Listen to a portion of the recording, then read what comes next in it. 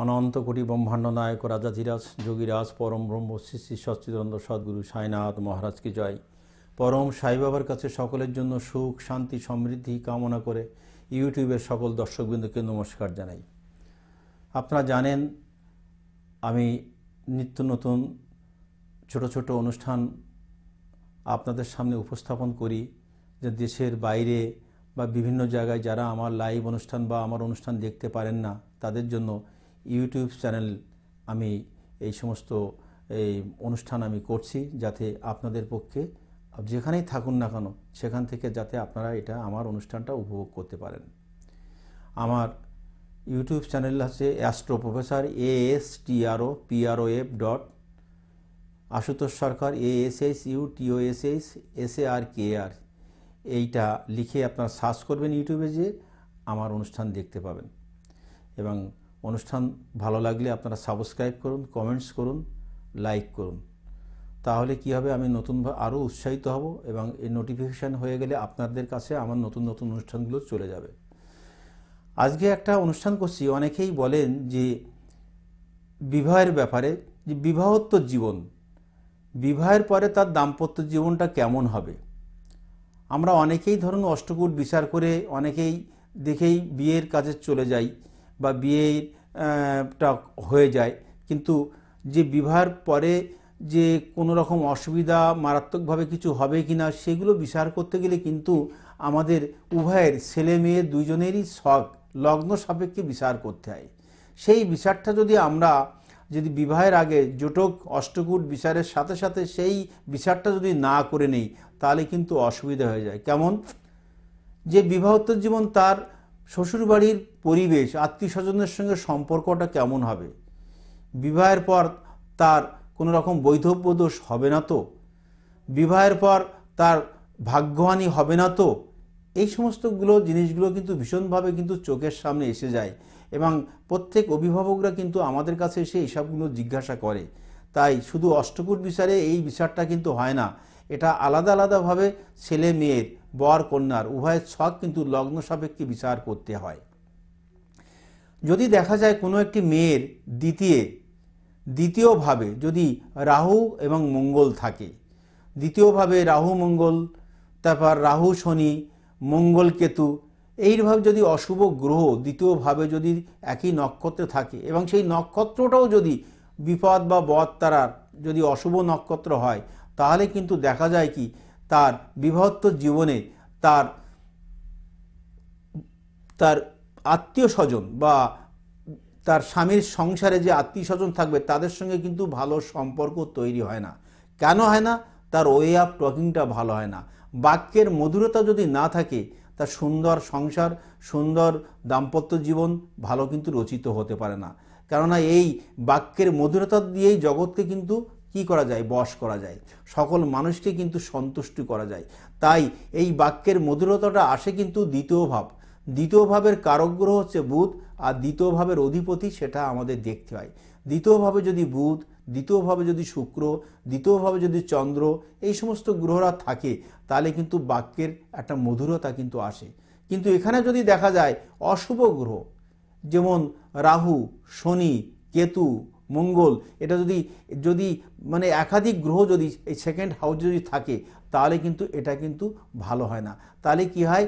যে রাহু মঙ্গল থাকলে যেমন দুর্মুখ হয়, মুখে কিছু আটকায় না। মানে কি দরজাল মেয়ে, ওরে বাবার কী মেয়ে বিয়ে করলাম? তো এই সমস্ত দোষগুলো যদি আগে থেকে দেখে নেওয়া যায়, তাহলে কিন্তু কীভাবে এর থেকে মুক্তি পাওয়া যায় ক নিজেকে কীভাবে কন্ট্রোল করা যায় সেই ব্যাপারে কিন্তু একজন জ্যোতিষ ব্যক্তিত্ব কিন্তু আপনাকে সে ব্যাপারে আপনাদের কিন্তু সাহায্য করতে পারেন। বা সেভাবে সঠিক পরামর্শ দিতে পারেন। কেননা দোষ তো নিয়ে মানুষ জন্মগ্রহণ করে, কিন্তু সেই দোষ থেকে আমরা কতটা মুক্ত হতে পারি তারও কিন্তু পন্থা, পথ, তারা কিন্তু শাস্ত্র শাস্ত্রকারকগণ কিন্তু বলে গেছেন।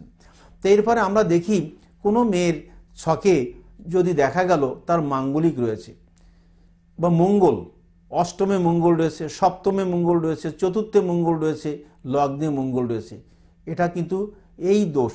এটা যদি অপোনেন্ট যদি তার যে ছেলের সঙ্গে বিবাহের ব্যাপারে ঠিকঠাক হচ্ছে, তার সঙ্গে যদি যদি মাঙ্গলিক দোষ না থাকে, কোনো রকমভাবে অন্য কোনো গ্রহর যদি না থাকে, যে যেটা মাঙ্গলিক দোষের মতো দোষ হয়, রবি, শনি বা রাহু, তাহলে কিন্তু দেখা যায় কি মেয়েটির মাঙ্গলিক আছে, ছেলেটির কিন্তু একদম মাঙ্গলিক নেই। তাহলে এই অবস্থায় বিয়ে হলে তাহলে কিন্তু দেখা যায় স্বামীর দিক দিয়ে কিন্তু মারাত্মক একটা শারীরিক বাধা, বিপর্যয় ডিভোর্স অথবা একটা মৃত্যু ইত্যাদি ব্যাপার কিন্তু ঘটে যেতে পারে।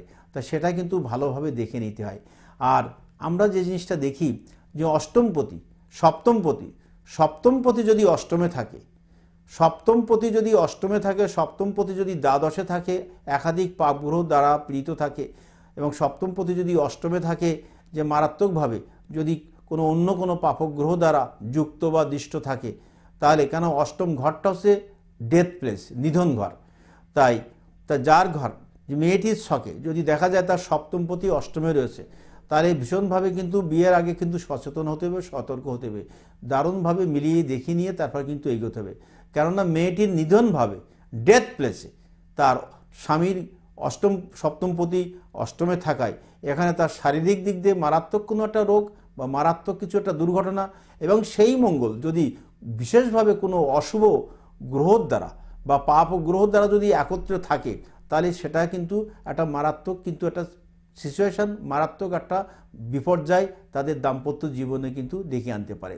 তাই এই জায়গাটা দেখতে হবে তার কতটা কিন্তু ডিস্টার্ব রয়েছে মানে তার সপ্তমপতি কোথায়, কি অবস্থায় রয়েছে, তারপরে কিন্তু নির্ভর করছে যে তার কতটা শারীরিক দিক দিয়ে সুস্থ থাকবে, কতটা ভালো থাকবে, কতটা বড় রকম ক্ষতি হতে পারে।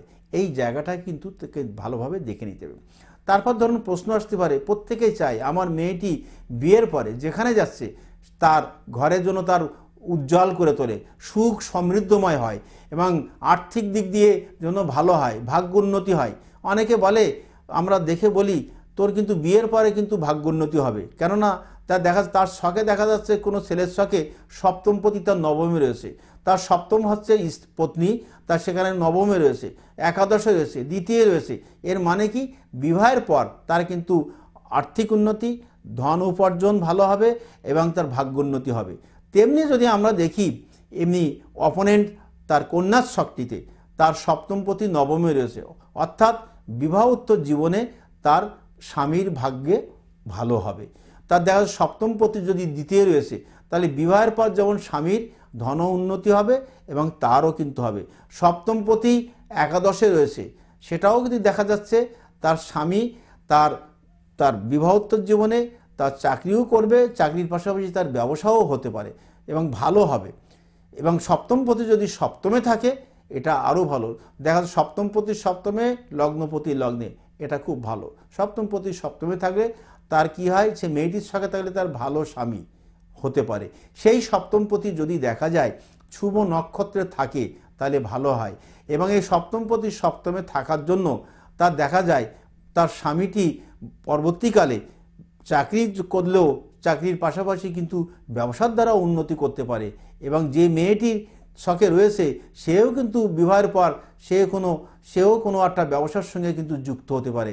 তার দ্বারাও কিন্তু ইনকামের ইন্ডিকেশনটা যায়। যদি তার শখে দ্বিতীয় পতি, দ্বিতীয় ভাবের অধিপতি শুভ জায়গায় থাকে, দ্বিতীয় ভাবের অধিপতি দ্বিতীয় যদি থাকে, অথবা সপ্তমে থাকে, অথবা একাদশে থাকে, অথবা নবমে থাকে, তাহলে নিশ্চিতভাবে বলা যায় যে সেই মেয়েটিও কিন্তু বিয়ের আগেও কর্ম করতে পারে বা বিয়ের পরবর্তীকালেও কিন্তু সে কর্মের সঙ্গে যুক্ত থাকতে পারে এবং ইনকাম করতে পারে।